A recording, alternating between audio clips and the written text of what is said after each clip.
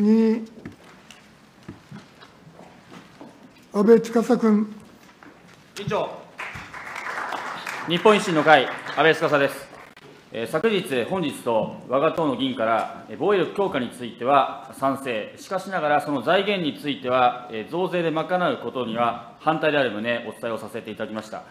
本日はまず、この防衛力強化の必要性について、国民の皆様に理解を深めていただくための質問、そしてですね、多額の財源を必要としている今、我が国の財政の持続可能性を担保するために必要な改革に関する質問の2つのテーマを取り扱ってまいりたいと思います。まず、えー首相総理のですね、安全保障に関する、認識についてお伺いしてまいりたいんですけれども、昨年の12月、政府は、国家安全保障に関する基本方針である国家安全保障戦略、防衛目標の設定、達成手段等を示す国家防衛戦略、防衛力の水準達成のための整備計画、防衛力整備計画のいわゆる防衛三文書を閣議決定いたしました。3文書では、相手国のミサイル発射拠点などを叩く反撃能力の保有が明記され、防衛関係予算を2027年度までにですね、GDP 比2%まで倍増させ、今後5年間の防衛費も43兆円程度とするという方針が示されました。これらは日本のこの戦後の安全保障環境、政策をですね、大きく転換するものであります。近年、我が国を巡る安全保障環境は大きく変化しております。ロシアによるウクライナの侵略、北朝鮮の核保有、度重なるミサイルの発射、中国による尖閣諸島周辺での活動活発化、緊迫の度合いを増す中台関係などなどですね、大変厳しいものと理解しております。こうした厳しい外部環境を受けて、防衛力を増強するものと理解しておりますけれども、まず、総理ご自身がですね、この安全保障環境をどのようにご認識されているのか、お伺いいたします。内閣総理大臣、岸田文雄君。えーっと、我が国をめぐる安全保障環境ですが、えまず我が国の周辺には、まあ強大なこのお軍事力がまあ集中をしています。北朝鮮の核・ミサイル開発、また中国の透明性を欠いた急激なこの軍事力の強化、こうした、戦後最も厳しく複雑なこの安全保障環境の中にあると、思います。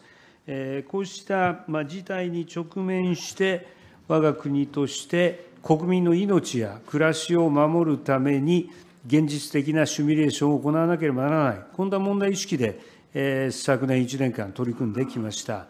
えそしてその際に、これは国家安全保障戦略の中でも書いている通りでありますが、我が国として、これ、積極的な外交を展開することによって、我が国にとって好ましいえ国際環境を実現していく、これが基本であります。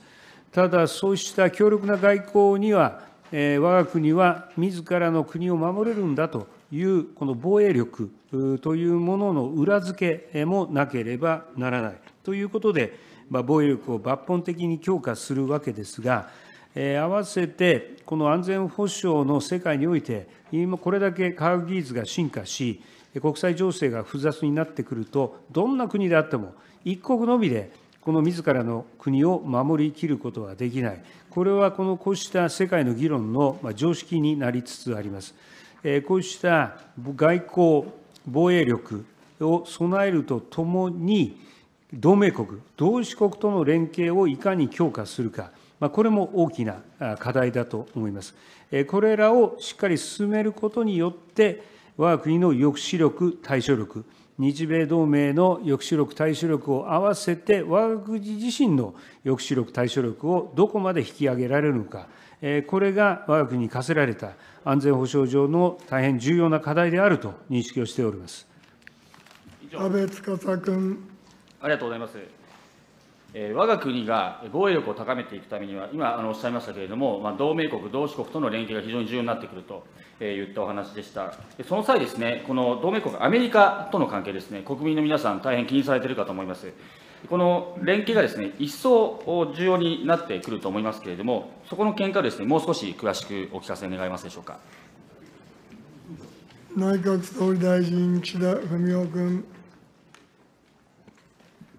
えおっしゃるように、うんと同盟国、同志国との、まあ、連携がより重要になってくる中で、我が国の外交安全保障の基軸は日米同盟であると思っています。えー日米同盟をよりまあ強化し、えーそしてこの信頼関係を高める中でまあ連携を深めていく、まあこうした体制を作っていくことが、あ我が国に対するこの、えーこの違法な、えーこの暴武力の行使を、えー抑抑制する、えーこの大きな力になると考えています。まあ、そうした意味で、えー同盟国、同志国の連携が重要の中で、特に日米同盟の強化は、我が国にとって重要であると認識をしております。安倍司君。えー今しがたですね、総理の安全保障に関するさまざまなご認識、示していただきましたけれども、この経済、軍事両面での中国のですね、著しい台頭が、インド太平洋地域の軍事バランスを崩し、地域の不安定要因となっております。したがってですね、近年の中国に対していかなる認識を有しているかというのは、防衛力の強化を考える上で非常に重要な要素であると考えております。この点に関してですね、自民、公明、両党でですね、意見の対立があって、与党間の協議を経た結果、国家安全保障戦略では、自民党が主張する脅威ではなく、中国はこれまでにない最大の戦略的な挑戦といった形で位置づけられたと理解しております。これに対しましてですね、拓殖大学の佐藤教授はですね、脅威という表現を避けたことが、どう解釈されるかによって、米中それぞれに誤ったメッセージを送ることになるという危惧を示しております。アメリカの政府高官が公の場で中国を脅威とする発言をしておりまして、日米の認識を同じにしておくことが重要と述べておりますが、中国の存在は我が国にとって脅威であるのか、脅威でないのか、総理のご見解を改めてお伺いできますでしょうか。内閣総理大臣、岸田文雄君。えっと、我が国の中国に対する認識ですが、あの中国について、我が国のこの国家安全保障戦略は、まあ、中国と我が国を含む国際社会との対話と協力の必要性に言及しつつも、現在の中国の対外的な姿勢や軍事動向等は、我が国の平和と安全、および国際社会の平和と安定の確保や、法の支配に基づく国際秩序の強化にとって、これまでにない最大の戦略的な挑戦であると位置づけています。そしてこの点については、あの日米関係で言うならば、米国の国家安全保障戦略というものがあります。その中においては、中国を最も重大な地政学的挑戦を想起する存在、こうしたこの表現で位置づけていると承知しています。えっと米側が最も重大な地政学的挑戦を想起する存在、日本側がこれまでにない最大の戦略的な挑戦、こういった表現で中国を位置づけていると承知をしています。これは基本的に日米の国家安全保障戦略、機を一にしていると認識をしておりますし、その上で、日米間においては、先般の2プラス2においても、この今後、日米同盟の抑止力、対処力を強化するにえー上で、えの取り組み、まあ、こういったものを確認いたしましたし、にそして先日の日米首脳会談でも、2プラス2のやり取りを踏まえつつ、日米協力に関する具体的な協議をさらに進化させようと、えー両国首脳で指示を出した、まあ、こういったことであります。ぜひこういったそれぞれの国家安全保障戦略に基づいて、大切な日米同盟強化に向けて協力をしていきたいと考えています。以上安倍司君。ご答弁ありがとうございました。えーアメリカと日本のこの安全保障戦略、認識はあ一緒だといった内容だったと理解しております。まあ、しかしですね、現状を見たときにですね、えーまあ、国際社会のまあ意見よりもですね、自己中心的なまあ、この考え方を優先して、まあ、尖閣問題などですね、力による現状変更を仕掛けてくる中国に対しては、まあ、よりですね、まあ、この安全保障上の脅威と位置づけて厳しい姿勢を一定見せていくからこそですね、外交上の相手の情報を引き出せるのではないかなと、えーこの点ですね、えー我々の維新のですね、国家安全保障戦略タスクフォースの総理提言にも記載しておりますので、えそちらぜひ、またご参考にしていただけたらと思います。えー総理はですね、これまで4年8か月にわたりまして、外務大臣を務めてこられました。私はですね、我が国の安全保障のために、必要な防衛力を整えていくことは重要であると考えておりますけれども、同時に外交も、まあ、非常にこの安全保障を確保していく上で、まあ、重要な活動だと考えております。これもあの同じお考えだと思うんですけれども、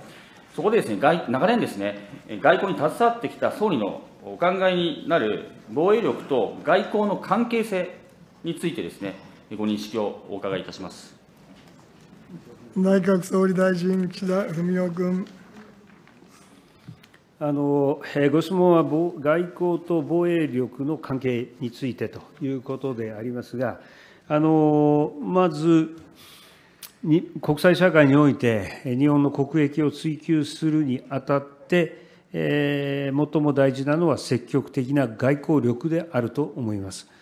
そして、その積極的な外交力を展開するにあたって、裏付けとなるこの防衛力をしっかり持っていくことも、えこのよりこの外交における存在感やえ発言力をえ高める上で、これは重要な取り組みであると認識をいたします。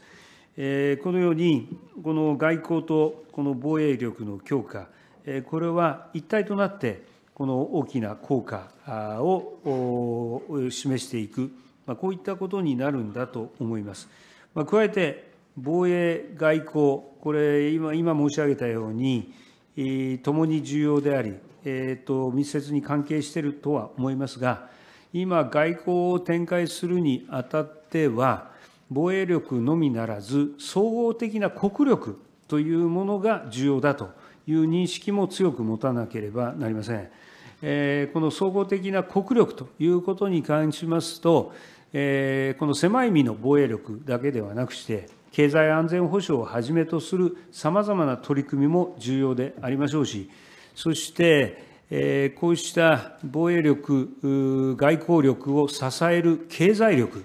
これも大事でありましょうし、そして外交、防衛力を支えるのに最も大きな力となるのは国民の理解だと思っています。えーこの国この国民の前向きな理解や協力があってこそ、外交や防衛の力も発揮できる、こうした点も忘れてはならないと思います。外交と防衛はの関係は今申し上げた通りでありますし、それと合わせて総合的な国力、また国民世論を合わせた日本のこの全体の力、まあこうしたものが国際社会の中で存在感を示すことが、日本の国民の命や暮らしを守り、存在感を高める上で重要であると認識をしております。以上、安倍司君。ありがとうございます。今、国民の理解が、この外交防衛えーについては非常に重要だといったお答えをいただきました。そこでですね、え次に国民の関心事であるですね、この防衛費の増額によって、何がどのように変わっていくのか、この点についてですね、お伺いをしていきいきたいと思います。防衛力整備計画では、2023年度から5年間の防衛費総額を43兆円程度としていますが、その財源について、あの先ほど、うるま議員もですね、え申し上げま申し上げておりましたが、歳出改革等でですね、対応できない分を増税で賄うという方針が示されました。昨年11月に読売新聞が実施した世論調査では、防衛力増強に賛成が68%といった結果でした。この調査結果からは、安全保障環境の大きな変化を背景に、防衛力増強は必要とのコンセンサスが、国民の中に、まあ、ある程度一定できつつあると理解できます。まあ一方で、防衛費増額の財源として増税の方針が公になった、えー本年1月の読売新聞の調査では、増税による防衛財源確保に反対が63%、えー賛成28%を大きく引き離す結果となりました。すなわち、防衛力増強は、まあ、なんとなく必要だけれども、増税には反対、これが民意かなと思います。私たち日本維新の会は、増税には反対ということを明確に申し上げたうえで、なぜこのような結果になっているかと考えると、国民に対する説明が足らないからなのではないかと考えます。増額された防衛費43兆円をどのように使い、その結果として日本の防衛能力がどの程度高まり、安全保障の水準がどのように変化していくのか、国民はこの点を知りたいと思っています。しかし、防衛費の額が先行してしまい、中身が見えない、5年後、10年後、我が国の安全はどの程度高まっているのかを国民は知りたいけれども、全くイメージを持つことができない、これが問題なんです。そこで、増額される防衛費はどのような優先順位で活用し、その結果、我が国の総合的な防衛力はどの程度高まるのか、そして安全保障環境はどう改善されるのかをお伺いいたします。また、こうしたことを国民に分かりやすく伝えていくべきと,、えべきと思いますが、総理のご見解をお伺いいたします。まず、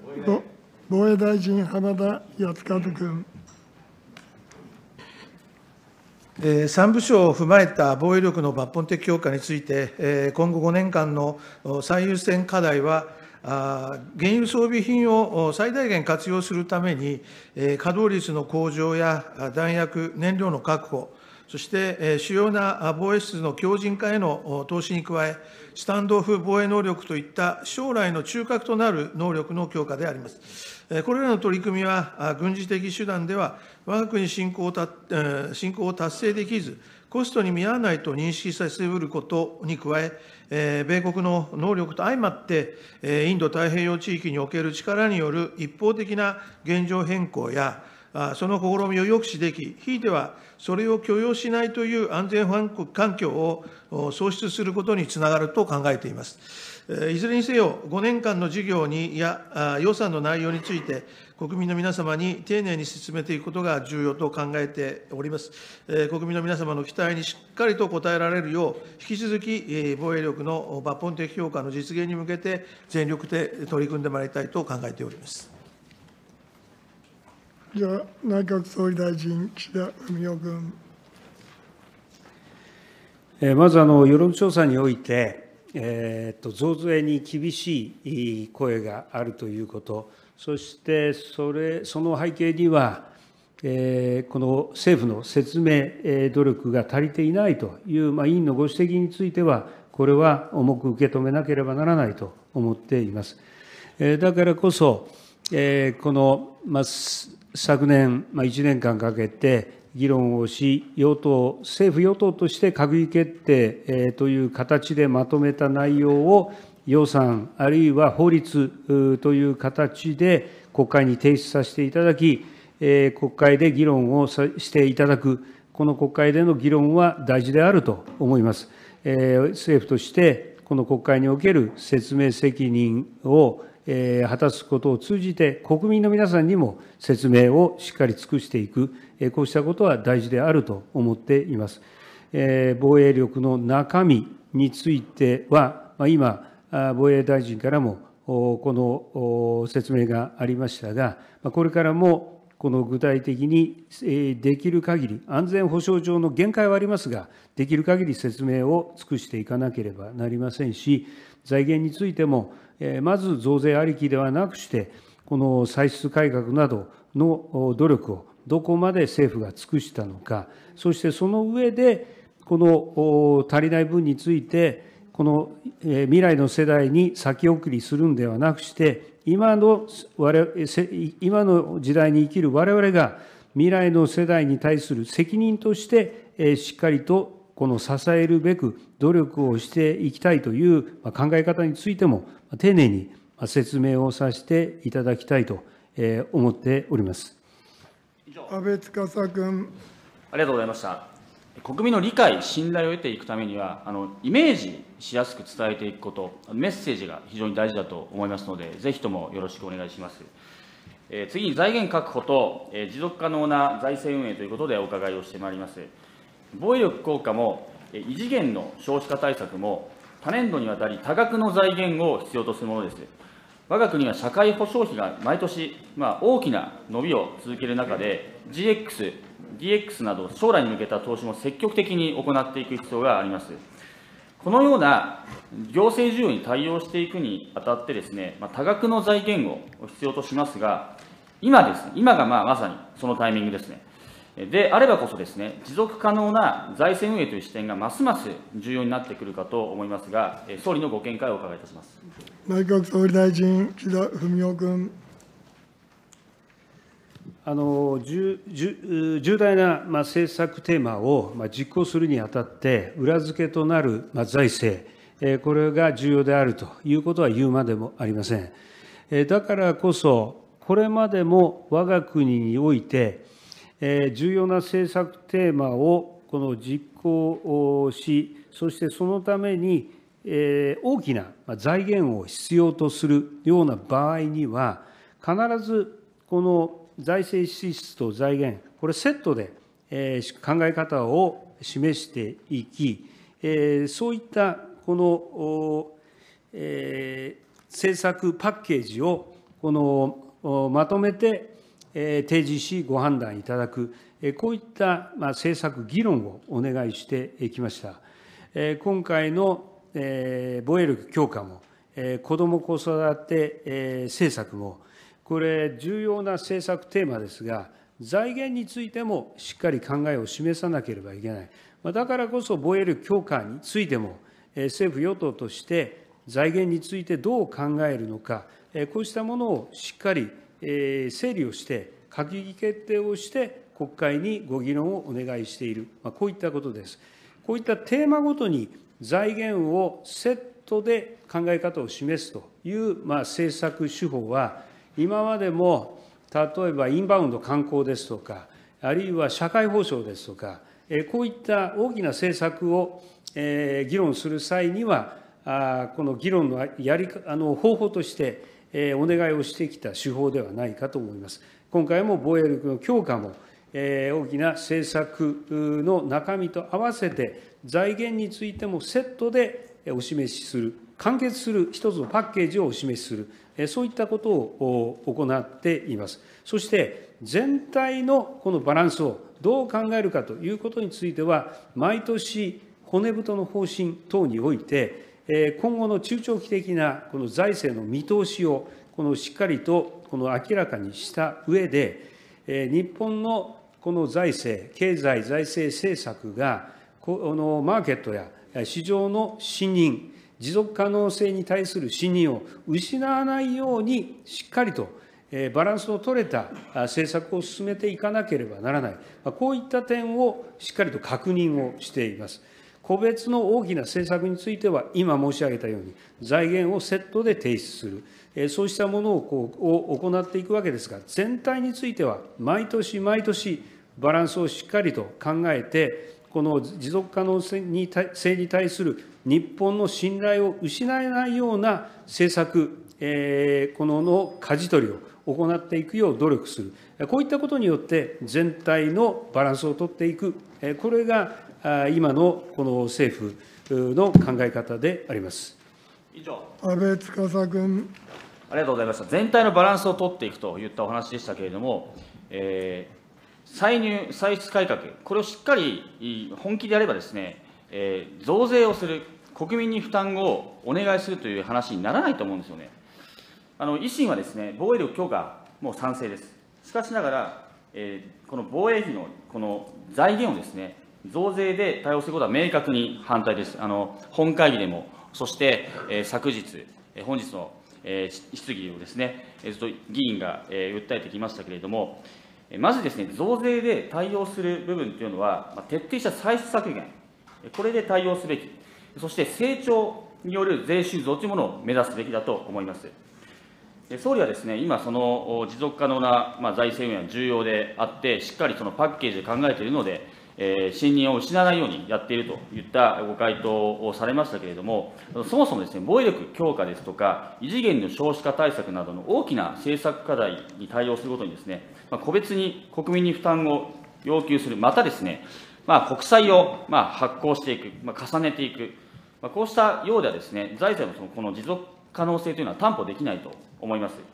まあ、こうした状況を打開していくためのその政策パッケージ、であの先ほど来です、ね、あのパッケージでお示ししているといったお考えでしたけあのあのおっしゃっていただいてますけれども、明確にあの維新とこの総理のおっしゃるこのパッケージ、異なっていると思ってまして、われわれはですね、もう税と社会保障と規制改革、これらをですね、まあ、一体的に実行するという、まあ、日本大改革プランというものをあの、まあ、繰り返し繰り返し、え、お伝えをしております。これはチャレンジする成長国家を作るという、こういった新しいそうした社会制度を作っていく、まあ、こうしたあのものになりますけれども、この中で、えー、このプランの中でですね、税については、まあ、今現在、公立ですと、税が公立ですと、まあ、その中で例外として、例えばこの租税特別措置をいくつも、まあ、この、えー、租税特別措置がいくつも存在してですね、極めて分かりにくい、まあ、複雑なものになっていると。現行のこの税制の課題を指摘しております。まあ、租税特別措置は、まあ、この業界にはこんな優遇、まあ、こんな、まあ、補助金、助成をするというようなもので、既得権益化しているものと思いますけれども、昨日も藤田幹事長から指摘をさせていただきましたけれども、まあ、こうした分かりにくい、まあ、税体系そのものを、まあ、フラット化して、まあ、シンプルにしていく、まあ、その上でですね、このフローと言われる所得税ですとか法人税、この部分のですね、まあ、公平な減税を施して、可処分所得を増やして、まあ、成長期に乗せていく、まあ、このような全体のパッケージでの改革案をお示ししているんですけれども、まずですね、この複雑で、えー、誰一人、まあ、その全体像が、まあ、理解できないような、まあ、現行のこの税制、まあ、特に租税特別措置、これをゼロベースにする検討を始めることをあのご提案したいんですけれども、ご見解をお聞かせください。内閣総理大臣、岸田文雄君。あのまず基本的な考え方で、例えば大きな財政支出を伴う大きな政策課題については、責任持って財源もお示しした上で、ご提言をさせていただかなければならないという点とか、それからその財源を考える際に、まずはこの政府の努力がこの求められる、歳出改革が求められる、税収の増加によって、えー、と例えば政府のこのビジョンでいきますと、税収の増は、決算剰余金という形で、え今度出てくるわけですから、それもしっかりと活用する、さらには税外収入等においては、防衛、防衛力強化強化資金という枠組みの中にこう集めることによって、財源を確保するとか、さまざまな努力を積み重ねるのがまず最初だという点については、御党の考え方と基本的にこれは一致してるんだと思います。ただ、おっしゃるように、この政府の努力の手法ということについては、この考え方に違いがある。えー、いろいろこう議論しておりますと、さまざ、まな、えー、っとまあ、規制改革ですとか、それから、えー、っと、えー、社会保障に対する考え方ですとか、こうしたこの基本的な部分について、どういったこの制度にのっとって、この進めるべきなのか、この点については明らかに違いがあると思います。これは手法の問題ですから、ぜひこれから議論を深めることによって、どっちが結果が出るのか、どっちが国民の皆さんにとってプラスになるのか、そういった観点から議論を深どんどんと深めるべきことであり、あの国会において、まさに堂々と論戦を論陣を張るべき課題ではないかと思います。ぜひその点については、ともに、えー、この、えー、考え方を、えー、国民の皆さんにしっかり示しながら、論戦を続けていきたいと思っています。委員長安倍司君。ありがとうございました。えー、一つですね、社会保障に関するお話をさせていただきたいんですけれども、あの令和5年度の、えーまあ、予算の例を取ってみるとですね、えー、この全体の国家予算、一般会計予算、この110、あ失礼、えー、日本のこの全体の国家予算が114兆円、そのうちの72.7兆円が一般歳出であり、そのさらに一般歳出のうち、社会保障関係費、36.9兆円除いた約30.8 30兆円が歳出削減の対象ということになります。あのよくあるあの財務省が出している、えー、円グラフがありますけれども、えこの30兆円からまあ1兆円を削減する、捻出していく、これ防衛費、例えば防衛費の財源の話ですけれども、これ、なかなかですね、それなりにあの骨が折れると思うんですね。でその時に、あの今、基礎年金と、あの基礎年金がですね、保険料だけでなくて税金、まあ、消費税を財源に賄われておりますけれども、この少子高齢化で、まあ、社会保障費が、まあ、年を追うごとに膨れ上がってきていますから、この一般会計の中で、まあ、やりくりせざるを得ずですね、結局この、お社会保険料、えー失礼、えーこの年金、基礎年金のこの、お賄っている、えー当てている税金が増えていくとですね、結局はこの30兆円がどんどんどんどん、えー逼迫していって、まあ、結果的にですね、将来の成長に必要な予算、例えば研究開発投資、まあ、こうしたことの財源が、財源がですね、結局逼迫してきましてきてしまうという、まあ、悪循環の状態だと思うんですね。まあ、そそこでですね、まあ、先ほどあの繰り返し申し上げておりますけれども、まあ、われわれは税と、この社会保障と規制という3つの改革をセットで行うことが必要だとあの申し上げております。